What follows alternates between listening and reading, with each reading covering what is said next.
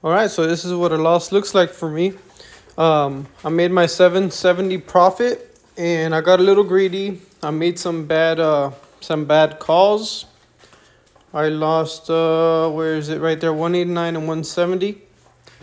So two bad calls. I gained a little bit back, but I did have a little bit extra in my um, in my risk, which is the AJ and the GU the, AJ was at 0.10, so it was at about 100. GU was at about 150, 160. So um, after I got some money back, I went ahead and just reduced the lot sizes to the minimum, 0.01. Gained the profit, and I made it back to, uh, let's say, a $100 loss.